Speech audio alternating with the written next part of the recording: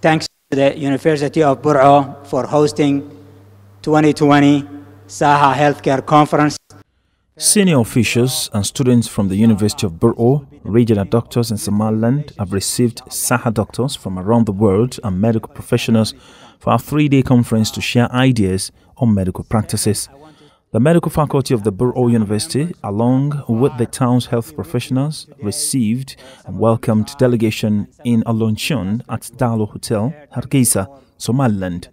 The medics who arrived in Bur'o will present a variety of topics related to health and various treatment methods for the benefit of students and doctors.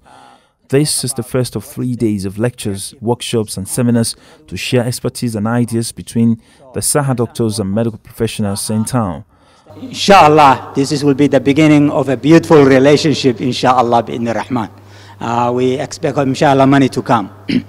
uh, second, I want to thank the Saham members who travel far to be with you today, or some of them try, and some of them will be with us virtually.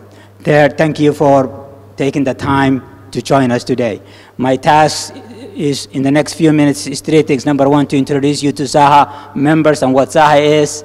Uh, talk about what is the objective of these conferences. What are we trying to accomplish? So first and foremost, Saha stands for Somalilanders American Health Associations.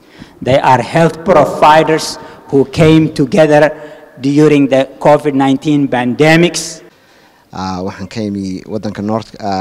The leadership and the students of the Faculty of Medicine and other medical professionals attended the event. The coordinator of the Ministry of Health, Development in Togdheer region, Dr. Mahmoud Yusuf, and Professor Omar Hayes, the deputy chairman of the University of Bur'o, welcomed the delegation from America.